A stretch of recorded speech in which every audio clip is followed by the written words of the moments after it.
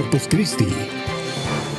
Muy buenas tardes. En esta tarde ya no estamos viendo esa actividad de precipitación como anterior, como las horas anteriores. Como pueden ver en mi radar, en horas de la tarde estuvimos con mucha actividad de precipitación que inició desde las, las comunidades hacia el norte y cruzando toda nuestra área. Vimos eh, tormentas eléctricas en esta área y también esos chubascos aislados.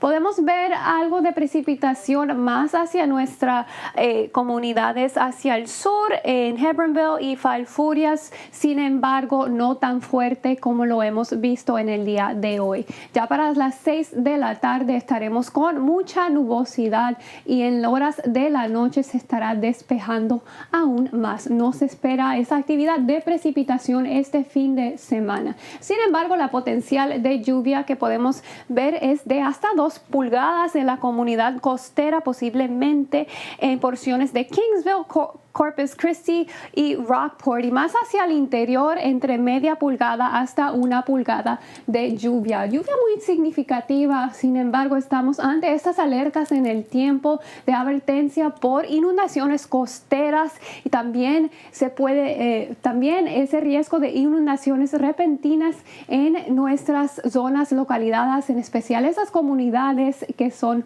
propensos a inundaciones deben eh, manejar con mucho cuidado y evitar esas zonas inundadas. Ten mucho cuidado a la hora de conducir.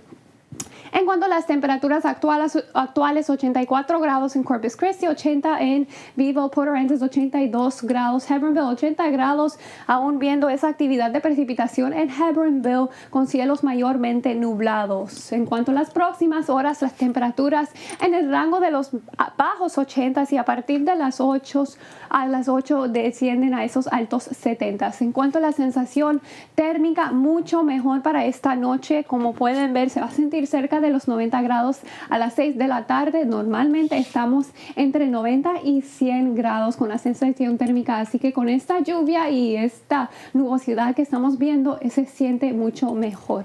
En cuanto a mañana podemos esperar una sensación térmica de hasta 91 grados. Resumen del tiempo.